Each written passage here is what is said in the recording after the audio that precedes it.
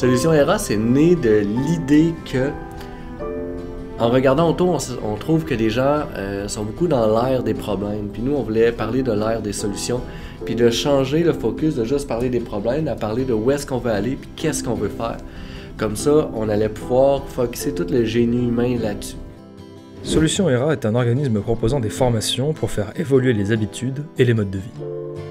Depuis ses débuts en 2012, Solution ERA s'est surtout focalisée sur la question de l'habitat écologique. L'équipe crée actuellement de nouvelles formations concernant deux autres piliers, le développement personnel et l'entrepreneuriat.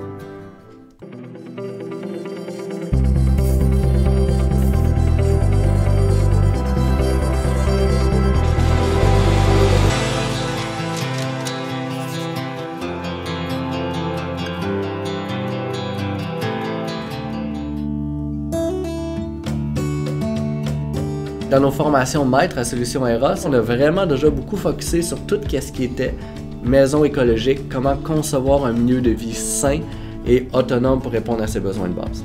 Puis notre structure de formation, c'est qu'on va aller aborder tous les piliers. Les gens vont choisir quel qui est important pour eux. Autonomie en eau, autonomie en électricité, autonomie en chauffage, autonomie en nourriture, matériaux sains et naturels. On va faire venir des spécialistes pour chacune de ces solutions-là. Puis au Québec, c'est certains spécialistes, puis en France, c'est d'autres spécialistes mais qui viennent répondre aux mêmes objectifs parce que la réalité en France n'est pas la même qu'au Québec. En fait, je suis la formation avec Solution ERA parce que j'ai un projet de construire euh, ce qu'on appelle un chalet. Ce que je suis venue chercher dans cette formation-là, en fait, c'est un échantillonnage comme d'informations euh, de personnes ressources. C'est le fun aussi d'avoir différents points de vue. Euh, un arrive, c'est un peu sa vérité, puis l'autre arrive qui a une vérité un peu différente. Fait que là, tu as des choix à faire. Tu sais, c'est pas comme voici quoi faire.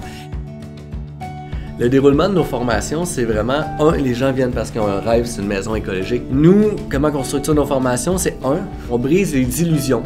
On dit, commençons par la base. C'est quoi vos buts, c'est quoi vos priorités, vos valeurs? Là, à partir de là, on construit un plan d'action, mais avec des vraies informations, avec des spécialistes. Une des façons qu'on sélectionne nos spécialistes aussi, c'est on veut pas juste des gens qui sont allés à l'université puis qui ont des connaissances théoriques. On veut des gens qui ont des entreprises puis qui exécutent au quotidien euh, les solutions.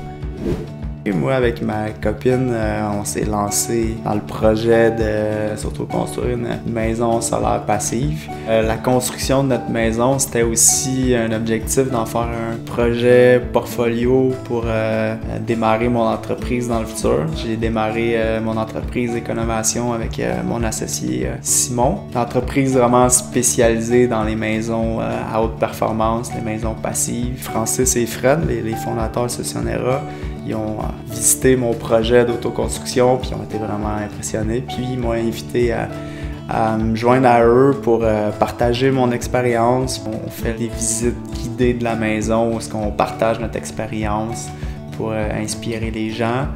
Un de nos objectifs à travers la conception de la maison, c'était un peu de briser tous les mythes de la construction écologique. Là. Souvent, les gens se disent maison écologique, c'est c'est soit une cabane de hippie en paille dans le fond des bois ou c'est une espèce de maison haut de gamme, euh, cubique, euh, moderne. Euh. Donc nous, on a essayé vraiment de, prouver à tout le monde ben, que c'est possible d'avoir une maison écologique à, faible coût qui peut vraiment se marier à tous les styles puis que c'est accessible à, tout le monde. Il y a beaucoup de personnes qui, qui lient construction écologique avec panneaux solaires, géothermie. Euh, en fait, ce qui est le plus écologique, c'est de garder ça le, plus simple possible puis d'avoir euh, une bonne isolation.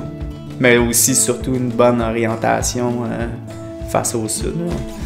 On en bénéficie aujourd'hui. il fait moins 20 dehors, puis on est en t-shirt à 20 degrés dans la maison, puis on se fait juste chauffer par le soleil.